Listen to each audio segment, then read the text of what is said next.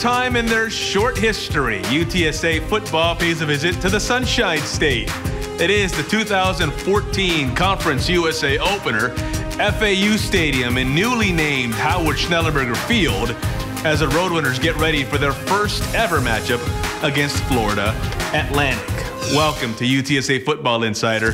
I'm Hector Ledesma. The Roadrunners going through a little change of pace in getting ready for the Owls. They're starting the season by playing three games in 16 days. They've essentially had the last two weeks off. Not from practice, but from game action. Coming off the bye, let's take a look at UTSA's last outing, the game at Oklahoma State on the 13th. Promising start that night in Stillwater with a nice Kenny Harrison punt return that led to a field goal. From there, though, the Cowboys answered with two touchdowns through the rest of that first quarter and 10 more points in the second. But some life in the third. Down 27 to 10, and with Tucker Carter on the sideline nursing a re-aggravated shoulder injury, true freshman Blake Bogenschutz engineered a six-play, 73-yard drive and capped it in style. 24-yard touchdown run.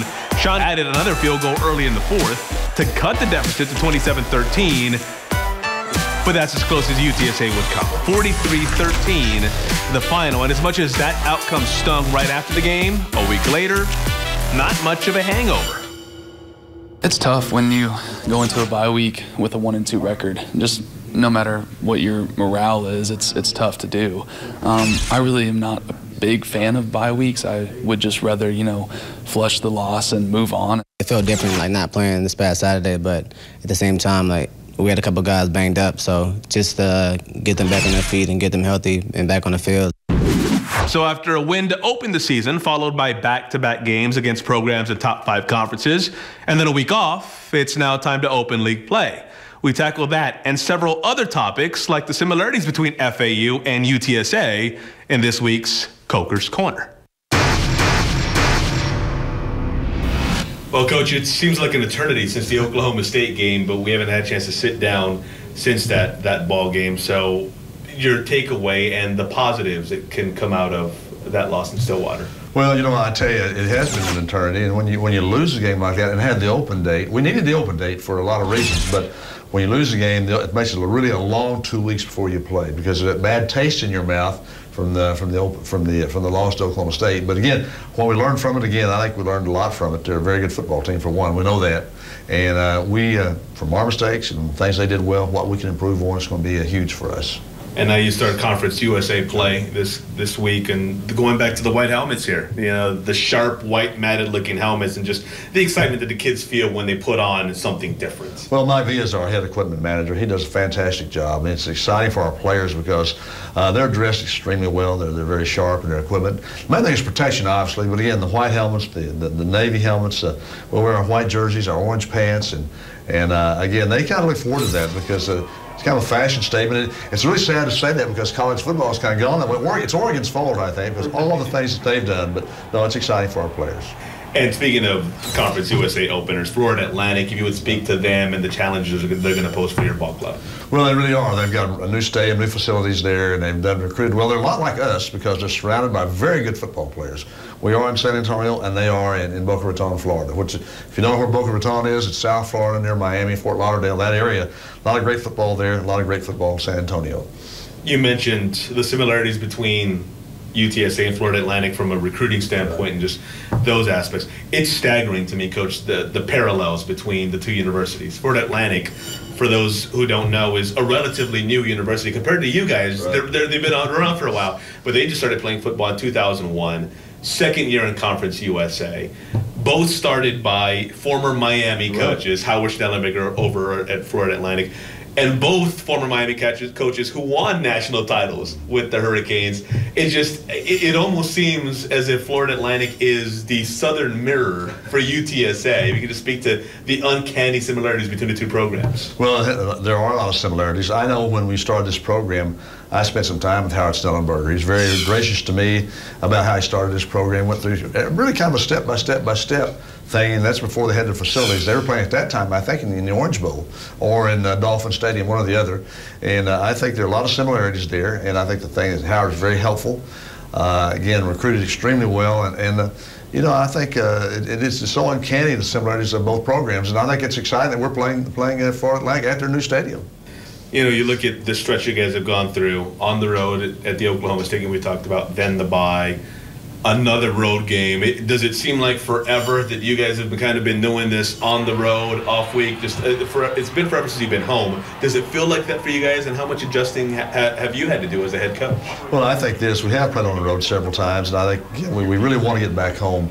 Uh, our, our, crowd, our, our, students in the Alamodome, it's, it's a great, uh, I think, uh, advantage for us. And we want to get back to the Alamodome. And we played a, really a good football team in Arizona in the Dome and lost a close game. That uh, game we had a chance to win.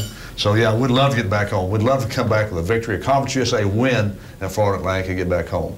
You know, we talked about how Florida Atlantic started football in 2001. By 2007, they had not only received the bowl bid, but they ended up winning the New Orleans Bowl that year. Yeah and that marked the quickest a program had gone from coming into existence to receiving a bowl bid and then winning a bowl bid.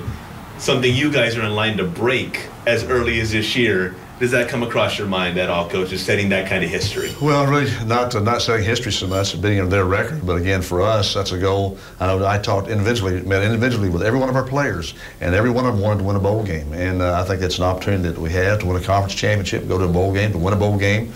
So they want to do that. That's their goal, and uh, we as coaches, we got to do everything we can to give us that opportunity. And a great opportunity coming up with the beginning of conference play coming up this weekend.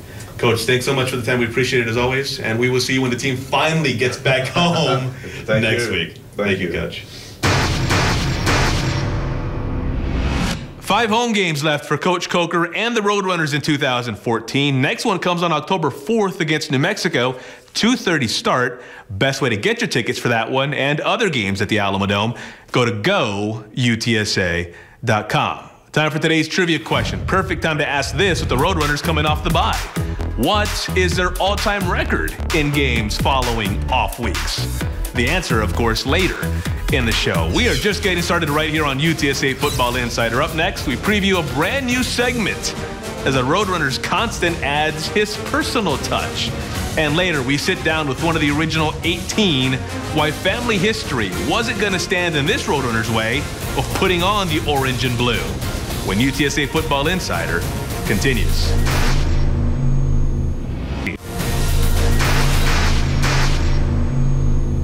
the right of Bogenschutz. Send Grubb in motion. Fake it to him. Quarterback draw. Bogenschutz 20. He's to the 15. To the 10. 5. Touchdown. Blake Bogenschutz 24 yards. Welcome to Roadrunner football. Blake Bogenschutz. Touchdown UTSA. That game at Oklahoma State came on the heels of the matchup against Arizona. The next opponent, Florida Atlantic, also knows a thing or two about facing power programs back to back. The Owls started their season with losses to Nebraska and Alabama. FAU next beat Tulsa before falling at Wyoming this past weekend. So the Owls come in at 1 and 3. But you know what they say about conference games? You can pretty much throw the records out the window. They don't do as much uh, moving and, and uh, you know, stunting as Oklahoma State did, and uh, so we plan to just attack them. We're actually playing for something now. You know, we like hopefully get to win out and get first in the conference, play for a conference championship, and go to a bowl game. So let's see if the Roadrunners can get back on track. As for what's being said about UTSA leading up to this one, Tim Griffin of the Express News caught up with the man leading the charge for the Florida Atlantic Owls. Hi, I'm here with Florida Atlantic coach Charlie Partridge. The Owls are off to a 1 and 3 start in a rough early schedule that saw them lose their first two games to Nebraska and Alabama. First of all, coach, I'm wondering what do you feel like the benefits of those two early games could be for you guys spinning forward into the rest of the season? Well, like uh, you know, UTSA, they played a tough uh, schedule as well. They a great win versus Houston. Um, when you're playing against great competition like those first two games, uh, it, it really shows what, where you need the most work and what your potential strengths are. So uh, if you use it right, it can be a great advantage for you as you move forward.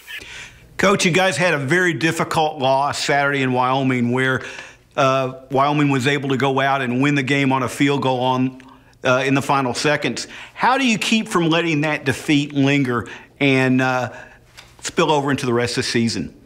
Sure, you know, the old phrase you can't let Wyoming beat you twice, right? Um, the good the good news is UTSA has our immediate respect. They're a good football team, and and they've proven that on film. So that helps. The fact that it's a conference game helps. I'm glad that we're back home. That helps, and we came out of it healthy. So uh, those are a few things that help us move forward, and we're just trying to build the, men- the, you know, the mentality around here. We've got to win each day and let the record take care of itself and the scoreboard take care of itself. Speaking of UTSA, this game will have a lot of meaning for Roadrunners coach Larry Coker as he goes back to South Florida for the first time with his team. How do you feel like his team might compare to some others you've seen in Conference USA over the this season? Well, it would be a big deal to me personally. I'm, I'm born and raised down here, even though I've worked primarily up north. Uh, but, you know, grew up watching the Hurricanes, and granted, I was uh, beyond living here when he was really running the show, but I have a ton of respect for what he's been able to do. And, boys, he's done a great job with that program there. Um, on defense, their D tackle, uh, Ashaad Mabry, has certainly grabbed my attention. Him and Singletary up front, and then you look at Akacha and Wade, they're playing at a high level. On offense, just how, how multiple they are, from spread to two back to quick break huddle on first sound, get you off balance, and someone who's really, really becoming one of the better players we've seen on film uh, is David Morgan, the tight end 82. He is a physical blocker. He's got very, very good uh, quickness and speed. Obviously, he's leading the team in, in receptions, so that's, that's a dangerous young man, uh, one of the better players we've seen all season. So we'll have our hands full. Coach, thanks again for taking the time to join us and good luck this season. No doubt UTSA's offensive line will play a big part in success the Roadrunners hope to enjoy against Charlie Partridge and the Owls. Speaking of success in the offensive line, Nate Leonard could be in line for another honor. The standout center is a candidate for the Class Award, which encourages senior athletes to make a positive impact as leaders in their communities.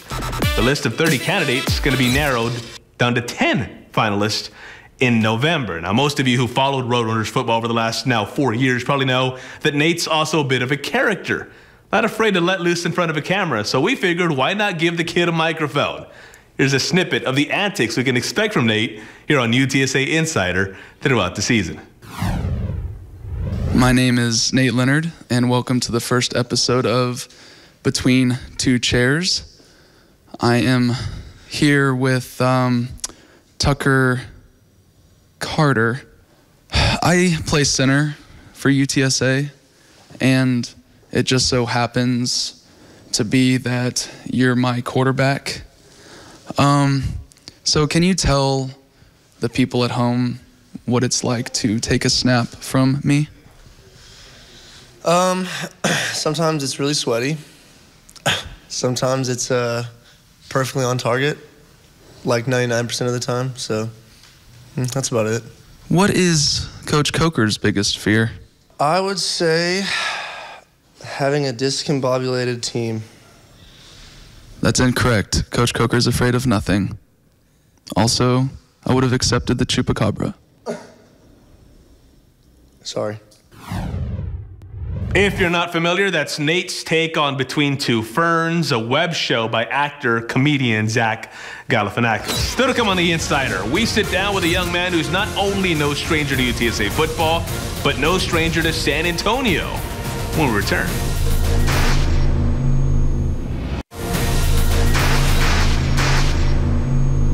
One of the original 18, he's been with the program since the start. But David Glasgow II is about more than just longevity. He's the program's all time leader in total touchdowns and in rushing yards.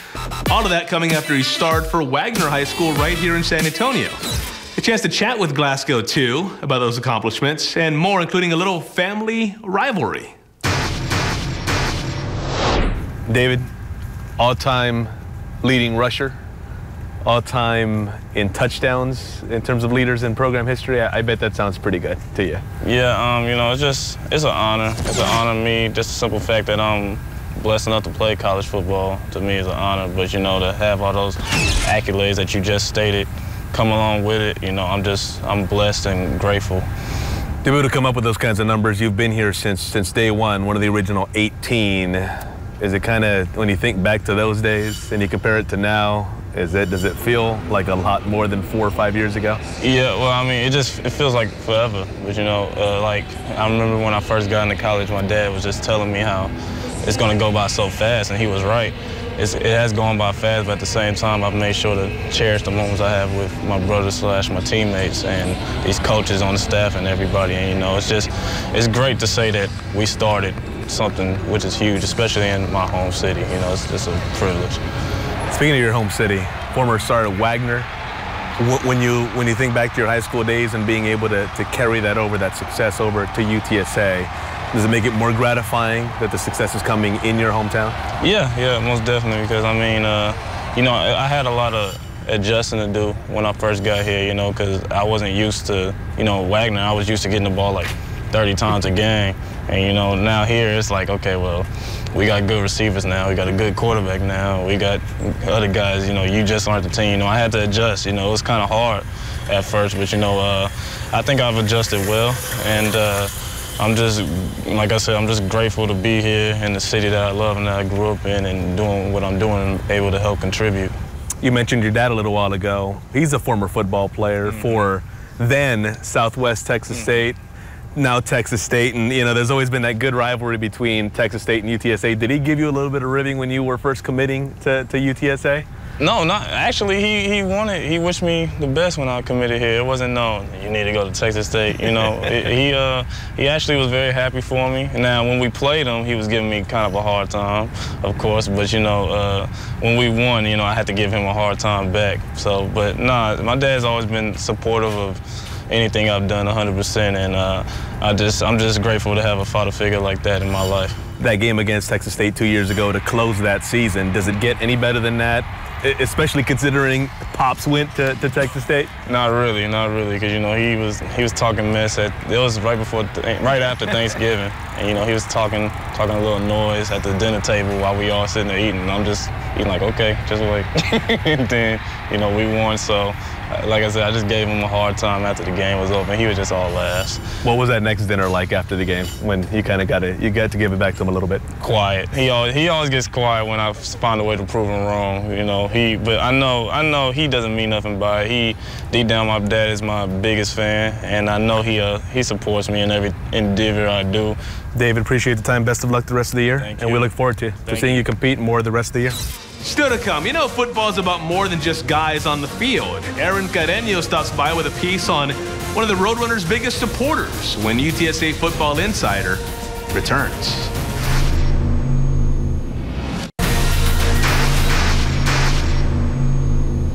It has been a while since UTSA's been home, the fourth of this month against Arizona, and it's still another week until they get to do it again at the Dome, October 4th against New Mexico. For tickets to that game and the other four left on the home schedule, go to go UTSA.com. UTSA Florida Atlantic, one of several games pitting Conference USA teams against each other this weekend. Two more on your screen here. Let's start, though, with UTEP at Kansas State. That's at 11 a.m. in Manhattan, Kansas. FIU and UAB, one of those Conference USA openers.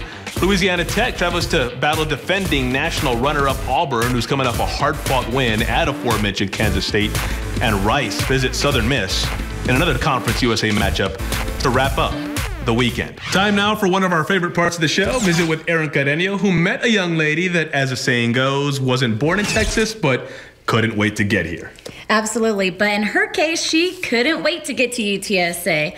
Most of the members on the cheerleading squad are from the great state, but as you're about to see, Texas doesn't have a monopoly on students who love the Roadrunners.